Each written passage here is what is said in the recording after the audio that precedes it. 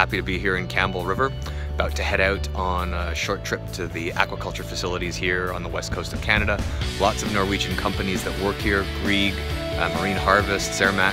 and trying to learn more about how the industry operates here on the west coast so that we can find ways to work together and advance Canadian and Norwegian interests